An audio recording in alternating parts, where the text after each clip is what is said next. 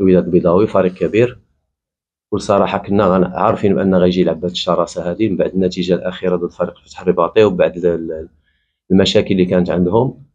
آه، المباراة على العموم الشوط الأول. بالرغم أن الوداد البيضاوي كان مسيطر على وسط الميدان ومتالف الكرة أكثر ولكن كانت الفرص ديالنا على الأقل فرصتين في الشوط الأول كنا نسجلوا. كانت تخرج الشوط الأول بالتعادل الهدفين لمثلهما لولا الأخطاء اللي ارتكبنا في في في التمركز ديال اللاعبين خصوصا في الكرات الثابتة من الركنيات اللي جاب لنا الهدف الأول وكان يتسجل الهدف الثاني.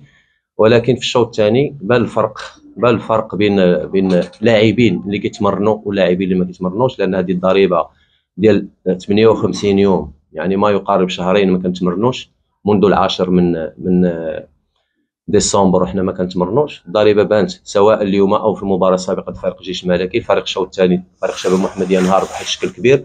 خصوصا من الناحية البدنية. كما شفتوا الوداد خلق فرص كثيرة سجل خمسة الأهداف وكان ضيف الغلة.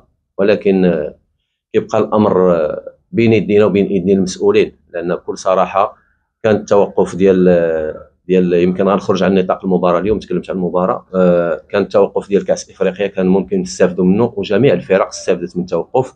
داروا معسكرات إلا شباب محمدية فالمسؤولين ديالو كانوا غائبين بشكل تام. على اللاعبين اللاعبين مضربين عن التدريب ولا أحد يسأل عن اللاعبين. فهذه ضريبة ديال عدم التدريب عدم انتظام التدريب عدم أخذ المستحقات لأن آه، يمكن مستحقات جميع الفرق أو أو غير أغلبية الفرق كتعاني من مشاكل مالية ولكن شباب محمدية مشاكل مالية مشاكل ديال التدريب.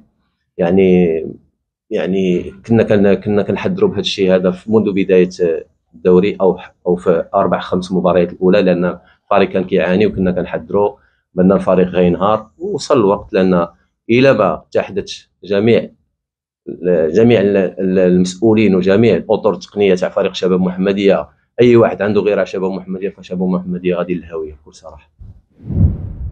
باش يوصلك جديد فيديوهات الأنباء تيفي تابونيو معنا في la chaîne يوتيوب وفعلوا الجرس.